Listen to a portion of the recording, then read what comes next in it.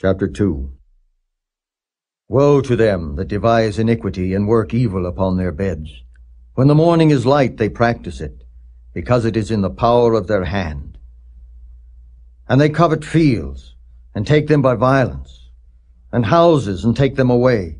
So they oppress a man and his house, even a man and his heritage. Therefore, thus saith the Lord, Behold, against this family do I devise an evil from which ye shall not remove your necks. Neither shall ye go haughtily, for this time is evil. In that day shall one take up a parable against you, and lament with a doleful lamentation, and say, We be utterly spoiled. He hath changed the portion of my people. How hath he removed it from me? Turning away, he hath divided our fields. Therefore, thou shalt have none that shall cast a cord by lot in the congregation of the Lord.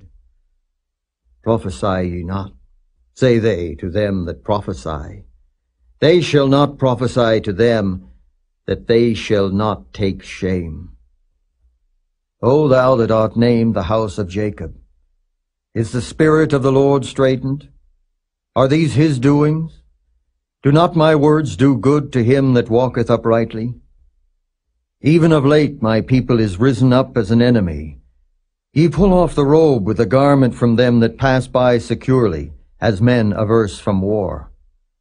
The women of my people have ye cast out from their pleasant houses.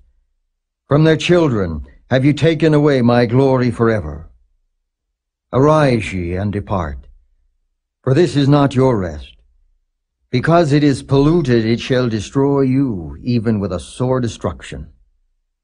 If a man, walking in the Spirit and falsehood, do lie, saying, I will prophesy unto thee of wine and of strong drink, he shall even be the prophet of this people.